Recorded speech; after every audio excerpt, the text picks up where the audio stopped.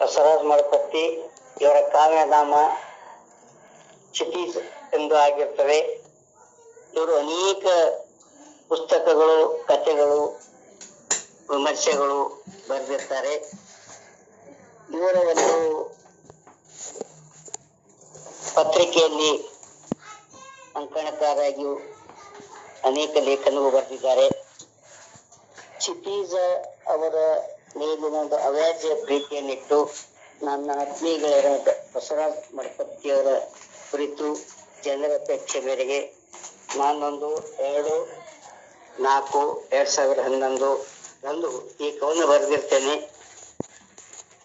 ಕಾವ್ಯನಾಮದ ಶಿರನಾಮೆ ಚಿತೀಜ ಕರ್ನಾಟಕದ ಶಿರಮುಕಟ, ಬೀದರ ಜಿಲ್ಲೆಯು ಪುಟ್ಟ ಗ್ರಾಮ, ಇಲ್ಲಿದೆ ನೋಡು, ನಿರ್ಣಾವು. ಕರ್ನಾಟಕದ ಸಿರಮುಕುಟ ಬೀದರ್ ಜಿಲ್ಲೆವು ಪುಟ್ಟ ಗ್ರಾಮದ ಇಲ್ಲಿದೆ ನೋಡು. ನೆರಳವು ಇಲ್ಲಾಯ್ತು ನಿನ್ನ ಜನ್ಮ, ನೀನೇ ನೋಡು ಬೊಮ್ಮ ಬಹದಿಂದಾಯ್ತು ಬಸವರಾಜ ಬದಿಂದಾಯ್ತು ಮಡಪತಿ ಕಲ್ಯಾಣದ ಕಡೆಬಾಗಿಲಲ್ಲಿ ನೀ ಪಡೆದಿ ಶಿಕ್ಷಣ, ಉನ್ನತ ವ್ಯಾಸಂಗ ಪಡೆದಿ ಮೈಸೂರಿನಲ್ಲಿ ನಿನ್ನ. ಗೆಳೆಯರನ್ನು ಪರಿಚಯಿಸಲು ನಾನು ಮತ್ತು ನನ್ನವರು ಸಂಕಲನ ಹೊರತಂದಿ ಮಣ್ಣಿನಿಂದ ರೇಷ್ಮೆಂದು ಉದ್ಯಮ ಮಾಹಿತಿ ನೀಡಿದ್ದಿ ಹೇಗಾದ್ರೂ ಬದುಕು ಎಂದು ವಿಚಾರ ಲಹರಿ ಹೇಳಿದ್ದಿ. ಹೇಗಾದ್ರೂ ಬದುಕು ಎಂದು ವಿಚಾರ ಲಹರಿ ಹೇಳಿದ್ದಿ. ಭಾವಶುದ್ಧಿ ಮಾಡಲು ವಿಚಾರಧಾರೆ ನೀ ನೀಡಿದ್ದಿ. ಅನರ್ಥ ಕಥಾ ಬರೆದಿ ವಿಮರ್ಶೆಗೆ ಒಳಗಾಗಿ ಅನರ್ಥ ಕಥಾ ಸಂಕಲನ ಬರೆದಿ ವಿಮರ್ಶೆಗೆ ಒಳಗಾಗಿ ನೆರಳಿನಷ್ಟೇ ಕತ್ತಲು ಕಥೆ ಬರೆದಿ, ಕತ್ತಲಿಗೆ ಮಾನ್ಯತೆ ನೀಡಿದ್ದಿ. ರೇಷ್ಮೆ ಗೂಡಿನ ಮಾಹಿತಿ ನೀಡಿದ್ದಿ. ಹೊಸ್ತಿಲಾಚೆಗೆ ಕಾಲಿಟ್ಟಿದ್ದಿ. ಅಮಾತ್ರ ಕಾದಂಬರಿ ಬರೆದು ಕಬ್ಬಿನ ಬಣ್ಣದಲ್ಲಿ ಓಡಾಡಿದ್ದಿ. ಪ್ರೀತಿಸಿದ ಒಬ್ಬನೇ ಅಲ್ಲ ಅಂತ ವ್ಯಾಖ್ಯಾನ ಹೇಳು ಚಿಚ್ಚಿದ ನೀನು ಮೇಲಿಗೆ ಕಾಲಿಟ್ಟಿ. ಪ್ರೇಮ ಅಳಿತು ನೋಡಲಿ. ಅಪರಿಚಿತರು ನೆನಗಲ್ಲಿ ಸಿಕ್ಕರು ಅಮಲು ಕಾದಂಬರಿ ಬರೆದಿ ಕಥೆಗಳು ಕಾಯ್ದಿದ ಒಂದು ಹೇಳಲಿ.